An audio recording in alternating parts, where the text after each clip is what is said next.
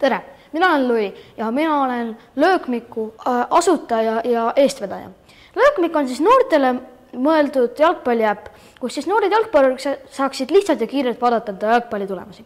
praegu on probleem selles, et kui need jalgpalli tulemused üldse kuskil üleval on, siis nende leidmine võib võtta väga kaua ja seepärast oleks palju lihtsam, kui need tulemused oleks ühes äpis lihtsalt ja kiirelt kättesaadavalt. Äpp töötab niimoodi, et äh, lapsevanemad, kes mängu pealt vaatavad, sisestavad äh, infot, mis siis mängus toimub ja see ilmub äpis nähtavale ja pärast saab seda infot vaadata ja analüüsida äh,.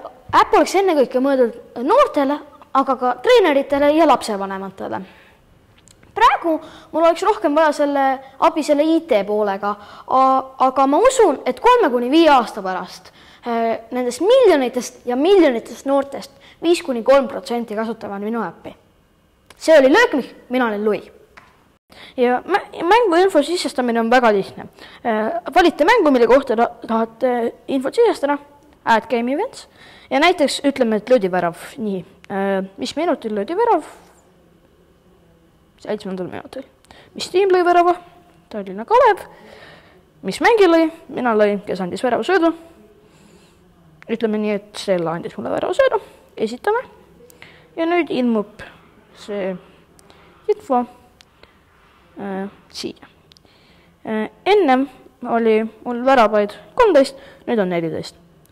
ja kui me tahame võrrelda näiteks mind ja Oskarit, siis valime nemad, lemmikud,